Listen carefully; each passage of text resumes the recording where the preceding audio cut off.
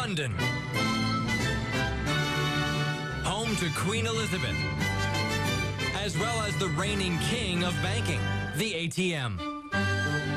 Born in Britain in 1967, Barclays Bank called the very first ATM a cash machine. The unveiling drew a crowd worthy of a royal birth.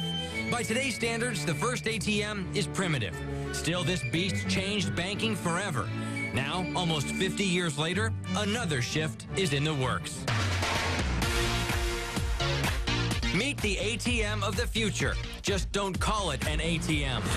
ITM for Interactive Teller Machine. Why the name change? Because this automated teller is truly changing the face of banking. Welcome to Grow Financial. How can I help you today? Yes, tomorrow's ATMs include a live human All right. to help. Personal service has kind of disappeared in this country. This is kind of bringing it back. When I give it a try, I've got my card. I'm surprised to learn you don't need your ATM card. With this machine, all you need is your account number and ID. I'm also surprised to learn Miguel's not here at the branch. He's 20 miles away at the home office, tucked inside what's labeled as a library. There was a library at one point, and then it turned into what's now the interactive video team's room.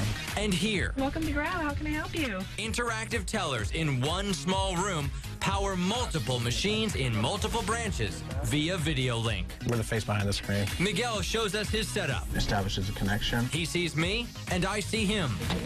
Because his computer screen's projected in front of a webcam. At all times, we're seeing the member. Thanks to the internet, tellers in your neighborhood today could be anywhere tomorrow. It could be in, in Denver, Los Angeles, wherever. A check deposit? Absolutely.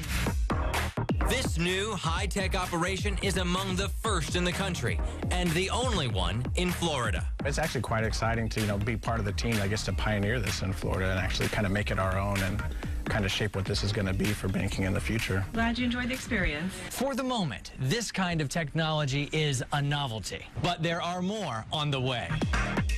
You will see more and more of this. Banks are pulling a page from the airport. Airlines have cut lines and cut costs using self serve kiosks. Zip, zip, zip, and I get my boarding pass. Banks are now joining them with the ITM. This really is no different other than we've got a really nice person that is going to come up on the screen that is going to deal with you personally. In addition to replacing outdated ATMs, expect to see ITMs in drive-throughs. Fisher figures banks will save money.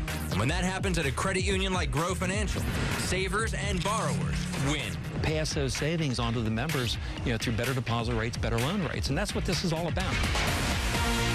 When it debuted in 1967, the ATM made history. Fisher is sure the ITM will catch on too, though he's not sure the ITM name will stick. I think people will probably still call it an ATM machine. I mean, that's been around forever. Chris Kamara, It was nice to see you. Fox 13 News.